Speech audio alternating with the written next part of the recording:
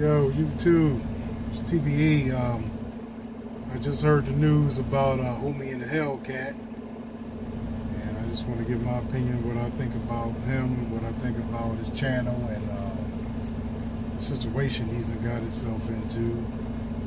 Um, and when I see first seen this channel, I ran across this channel like I ran across a lot of other channels. I'm not driving right now. But you wonder why I'm not wearing a seatbelt. I'm just sitting on the truck right Let me cut it off. Um, those of you, um, I ran into his channel, um, like I ran a lot. I'm just looking for stuff to look at on YouTube while I'm driving.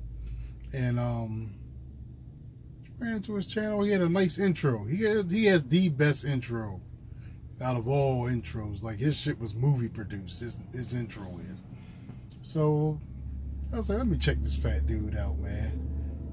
Well, he just seemed like he was happy. He was rich. He was just always buying shit. So I'm steady looking. Introduced my wife to it. Introduced Christine to it. So me and her looking at it. She's not liking it. She's sensing that he's arrogant, treats women bad, treats his baby moms bad. Uh, he just wants to be fame. I mean, she's getting a female vibe from him. But me, the male, I'm just seeing dude just living his life. And maybe shit didn't work out with him and his baby moms. I don't know, dude. He's he's just doing his own thing. So then as the videos start to progress, um, he changed up all the people that were around him. He changed them up. Now, think about when you're as rich as he is, you kind of got to watch that. You got to watch change it up. I ain't say you're not supposed to change up the people around you, but watch how they take it. Because to me, I think what just happened to him had a lot to do with people who hate him. And somebody threw something out there, probably that they knew about him.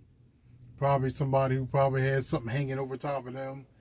And you know what I mean? When you're as rich as he is and you got rich the way he got rich by creating apps on on questionable sites and um, that can lead to you getting into some trouble. But I don't know all the facts on it, all that. I'm just speculating. Just watch the people around you. And two, he had a lot of haters from people who wasn't doing shit in their life, but watching his channel. And I think that they watched his channel, they got a little bit envious, and they somebody higher up because you got almost a half a million viewers. This isn't just young kids and young adults. Half a million people that, that scatters around to everybody. People who are in higher places. And I feel like he's been under investigation probably from the day he introed on uh, on the YouTube because that interest was crazy. And you don't know who his neighbors are around him and all that, what influence. There's a lot of hands rubbing hands. And all you got to do is say, hey, man, I got a young, rich black man. He don't see himself being black, see himself being Spanish, but he's black. You know what I mean? So that's how they look at him. They could, we got a young black man here, got millions. Talking about he used to be a drug dealer. He used to break the law. That's all it takes. And that probably got thrown out into the air and got into the hands of people who got influence. And that's all it takes to bring down the person. That's all it takes. And I feel sorry for the brother, man. He looked like he was living right, like he was doing the right thing. And he says he still has millions left. We'll see. Man, hopefully he'll make a comeback. Right. The, shit he lost is material shit. Like, as long as you don't lose your life, your family, you know what I mean? That's what matters. Everything else you can get back. You can get back everything else. So, so I don't know if they took all his real estate properties and all that stuff. Like, we're going to find that out later on. But hopefully he didn't lose all that stuff. Hopefully he still got a mill or two somewhere else and he can get back into the properties. But it was a power move on somebody's half. Somebody pulled a power move on that brother and shut him down. And that, that's what jealousy will do, man. Like when you get rich like that, if you're going to put your life out here on YouTube, your shit better be clean. It better be clean, bro. You better be clean, crystal ball ass clean. You better have not a speck of dirt on your name or your business. Nothing. Because these people are going to bring you down.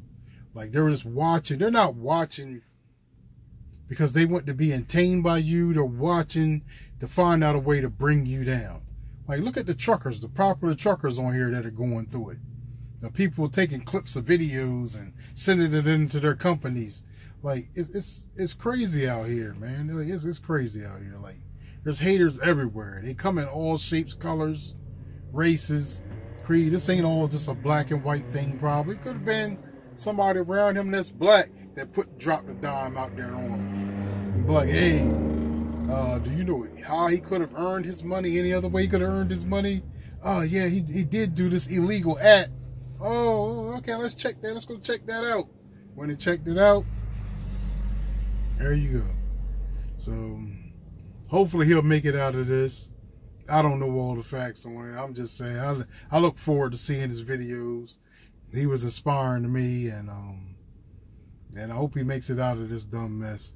I hope it's dumb mess. I hope he ain't got to go to jail and do all this time. His kids are young. His kids are very young, and he shouldn't have to be dealing with all this. But um, yeah, you got to old wise up, man, to everybody, man. If you're gonna put your life out here, bro, everything you do, there's gonna be haters and people gonna try to bring you down for no reason other than just hate. And it don't matter if they're black, white, they could be whatever race. So it's TBE. I'm out, man. Omi in the Hellcat. Keep your head up.